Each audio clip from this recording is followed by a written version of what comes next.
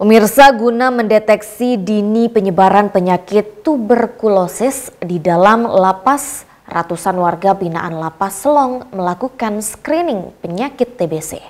Upaya ini dilakukan untuk memastikan kesehatan warga binaan terjaga serta memutus rantai penyebaran penyakit TBC yang menular.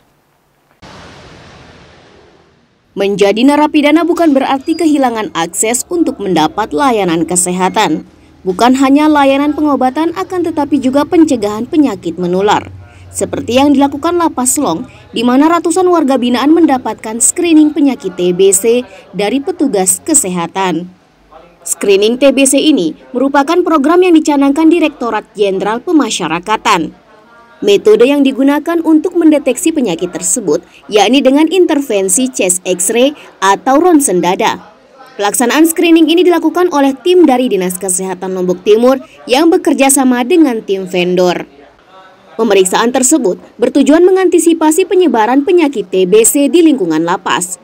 Selain itu, upaya ini untuk mengoptimalkan angka penemuan kasus TBC secara aktif dan masif pada kelompok komunal yang beresiko tinggi terhadap penularan. Pemeriksaan melalui tiga tahap, yakni screening gejala, screening CXR, dan pemeriksaan TCM. Apabila nantinya ditemukan kasus TBC, pihak lapas akan melakukan koordinasi dengan Dinas Kesehatan agar dilakukan perawatan lebih lanjut. Melalui pemeriksaan ini, diharapkan dapat meminimalisir penyebaran TBC di dalam lapas. Hari ini adalah ada kegiatan screening TB untuk warga binaan, di mana ini adalah kerjasama dari Direktur Jenderal Pemasyarakatan dengan Dinas Kementerian Kesehatan yang akan dilaksanakan terhadap 374 lapas rutan se-Indonesia.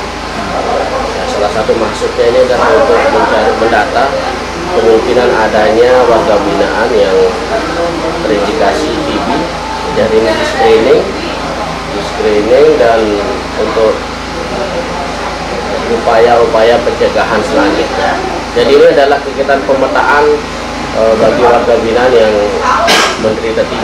Kegiatan ini akan dilakukan selama dua hari dikarenakan jumlah warga binaan yang mencapai 400 orang.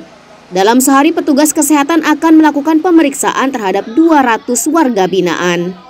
Zulfikri, Arman Zulfarozi, Selaparang TV melaporkan.